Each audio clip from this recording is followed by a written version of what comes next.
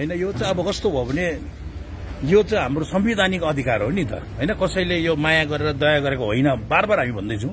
र जब संविधानले दिएको छ फेरि भएन मैले सुप्रिम कोर्टले भनेको छ कि कुनै टाइम पनि कुनै पनि इलेक्सन छ भने त्यो इलेक्सन ड्यू राख्नु हुँदैन इन टाइम गर्नुपर्छ एडभान्समा गर्नुपर्छ सुप्रिम कोर्टको त मार्चमा आएको भर्डिक छ।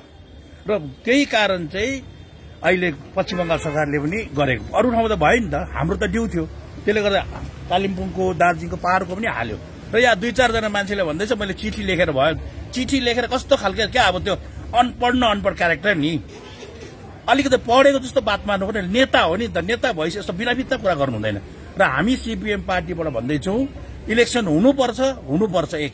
तर एउटा प्रश्न के यहाँ आउँदैछ भने इभन गोजा मोमोको दल जति बेला रोशन गिरी हर्कबहादुर छेत्री यिनीहरू गएर जति बेला चिफ सेक्रेटरीलाई भेटे त्यति बेला उनीहरूले दिएको सुझाव चाहिँ पहाड़मा चाहिँ जम्मा गरेर चाहिँ अझै थप छब्बिसवटा जति र आठवटा जुन चाहिँ छ सोह्रदेखि लिएर बिससम्मको चाहिँ ब्लक हुनुपर्छ भन्ने त दिएको छ रिपोर्ट। त्यो कुरा त सुनाइ भएको छैन। अनि त्यसको बादमा फेरि भएन अब पञ्चायत समिति हुन्छ अरे। लु ठिक छ मान्यो। कति सजिलो कुरा गरिरहेछ। पञ्चायत समिति हुन्छ भने एउटा ब्लकको माथि पञ्चायत हुन्छ। एक ब्लकको माथि पञ्चायत हुन्छ। किन बिडिओ चाहिँ पञ्चायतको चेयरम्यानको सेक्रेटरी हुन्छ। त्यसले गर्दा ब्लक तिनवटा मात्रै भएर पञ्चायत इलेक्सन भयो पञ्चायत समिति भयो भने त अहिले त कालिम्पोङमा त चारवटा भएको छ।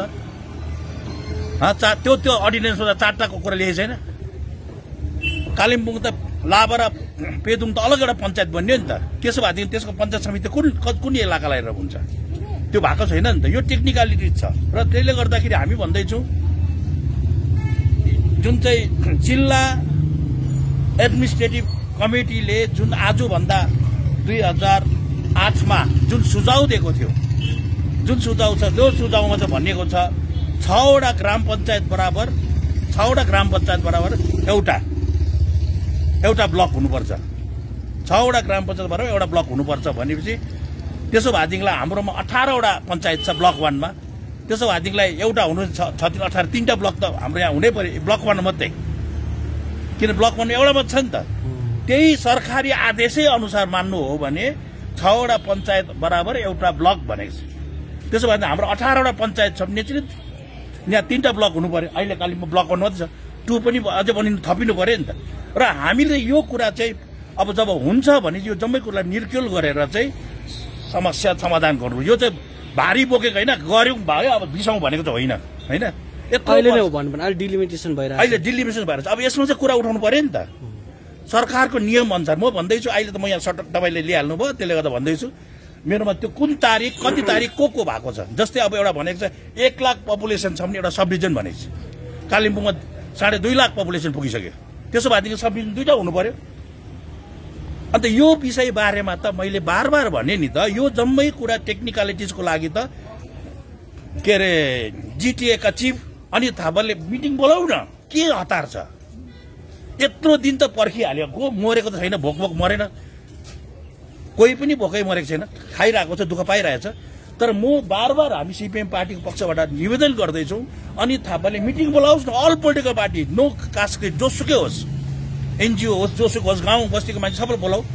र त्यसलाई बोलाएर सरकारको नियम अनुसार यति पपुलेसन भयो भने एउटा सब डिभिजन हुन्छ यति भएपछि ब्लक हुन्छ भन्ने जुन कुराहरू छुट्याएको छ त्यो कुरालाई अनुसरण गरेर हामीले अगाडि गयौँ भने चाहिँ सरकारकोमा एउटा सही आँकडा जान्थ्यो। र अहिले चाहिँ सही गएको छैन र हतार हतार पञ्चायत बनाऊ भने उसो लाभा र उसलाई चाहिँ कुन पञ्चायत हाल्ने लाभा र पेदुङ त नयाँ ब्लक बन्यो नि त। एक वर्ष डेढ वर्ष भयो। अन्त त्यो पञ्चायतमा आउँछ? पञ्चायत समिति आउँछ त्यो। अन्त आएन भने फेरि अन्याय भयो त त्यहाँनिर त। त यसले गर्दा चाहिँ यो टेक्निकलिजको लागि चाहिँ म के भन्छु भने जिटिएको चिफले चाहिँ यो विषयमा सबलाई लिएर मिटिङ गरेर हाम्रो सुझाव कहाँ कहाँ छ ब्लकको बस्ने ग्रामीण इलाका क्षेत्र सुदूर ग्रामीण इलाकामा कुन कुन इलाका मिलाएर ग्राम पञ्चायत आज तपाईँले हेर्नु भने टिस्टाको तल मान्छे कालिम्पोङ ब्लक वानमा आउनुपर्छ टिस्टाको मान्छे। अन्त त्यही हाइवेलाई लिएर एउटा किन हुँदैन ब्लक? एउटा पञ्चायत त्यहाँ किन हुन सक्दैन? होइन? अब यो कुराहरू हो नि त मेन चाहिँ कुराहरू अगर सत्य नै हामी गरिब किसानहरू जो चाहिँ सुदूर ग्रामीणका बसेर उनीहरूको लागि गरेको हो भने चाहिँ हामीले यो कुरा ध्यान दिनुपर्छ। होइन एउटा पोलिटिकल गिमिक गरेको हो भने त होइन अब हामीले पाइहालेको छ गरिहालौँ। यो त अब देख्यो कसले के गर्दैछ? न उसलाई थाहा छ पञ्चायतको इलाका कहाँ पर्छ भनेर। सिरी खोलाको मान्छेलाई तल आउनु पर्दा कति टाढो पर्दैछ? तोदे ताङताको मान्छेलाई तल आउनु त कति टाढो पर्दैछ? हेर्नुहोस् न यो जोग्राफिकल रिजन जुन चाहिँ डेमोग्राफी छ यसलाई विषय ध्यान नलाएर कहाँ गाउँको मान्छे एउटा तिरपाल लिनुको लागि चाहिँ नब्बे किलोमिटरको यता आएर चाहिँ एउटा तिरपाल लिनु आउनु पऱ्यो भने दाम कति पर्छ त्यसको? गाडी भाडा? अन्त हामी के भन्दैछौँ भनेदेखिलाई चाहिँ यो सम्पूर्ण कुरा सच्च नै समस्याको समाधान गर्ने हो भने चाहिँ हामी फेरि पनि भन्दैछौँ सिपिएम पार्टीको पक्षमा जिटिएले मिटिङ बोलाओस् र जिटिएमा एउटा हामी सबै डिस्कस गरेर चाहिँ कहाँ कहाँ कुन कुन हुनसक्छ त्यो बारेमा चाहिँ हामी गरेको चाहिँ राम्रो हुन्छ। नत्र त यो त मैले भनिहालेँ गिमिक हो। यो मान्छेलाई त्यसै बित्थामा लट्याउने हो। त्यसले गर्दा इलेक्सन आयो सकिहाल्यो सकिहाल्यो। त्यो होइन। त्यस्तो प्रकार गर्नु हुँदैन किन यो हाम्रो संवैधानिक अधिकार हो। यो अधिकारलाई हामीले सही प्रकारले उपभोग गर्नुपर्छ भन्ने आह्वान अहिले टु टायर र थ्री टायरको कुरा भइरहेछ। एकातिर कालेबुङ जिल्ला अस्तित्वमा आउन आउँदैछ भर्खर भर्खर दाजु होइन अनि यो बेला सरकारले two tier panchayat raj system मात्रै कालेबुङ दार्जिलिङ गराउन चाह्यो भने कालेबुङ जिल्लाको अस्तित्व के हो? अब त्यसले गर्दाखेरि चाहिँ हामी यही भन्दैछौँ कालिम्पोङ जिल्लाको अस्तित्व चाहिँ यहाँ कहाँ के बिग्रिन्छ भनेदेखिलाई चाहिँ अब जिल्ला भइसकेपछिलाई त यहाँ त जिल्ला परिषद हुनुपर्ने। हामी त बार बार भन्दैछौँ जिल्ला परिषद हुन्छ कि त कि त यो कालिम्पोङ जिल्ला होइन उसो भन्नु पऱ्यो नि। जिल्ला होइन र टु टायर भयो नि। जिल्ला भन्ने बित्तिकै टायर हुनु पर्यो र अब अहिले के आयो भने सबैले भन्दैछ संविधान संशोधन पर्दैन नि संविधान संशोधन जानु।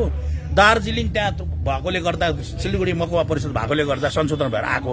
तर अहिले त यसमा त जिटिएको एग्रिमेन्ट त लेखेकै छ नि त। अब खालि स्टेट गभर्मेन्टले पञ्चायती एक्टलाई अलिकति करेक्सन गर्नु छ। अहिले जे भनिएको छ त्यसलाई अर्को प्रकारले सजाउनु मात्रै छ। अरू केही छैन। त्यो चाहिँ हो। जति चाह्यो भने स्टेट गभर्मेन्टले सजिलै गर्नु सक्छ। तर हामी के गर्दैछौँ स्टेट गभर्मेन्टलाई रिजाउने खुसी पार्ने काम गर्दैछौँ नि। हाम्रो अधिकार चाहिँ मागेकै छैनौँ। र म भन्छु खुसी पार्ने काम गर्नु हुँदैन। किनभने हामी यहाँको रैथाने हो? जुग जुग दिन माटोसँग बस्यो। किन यति बिघ्न डराएर जी हजुरी भने?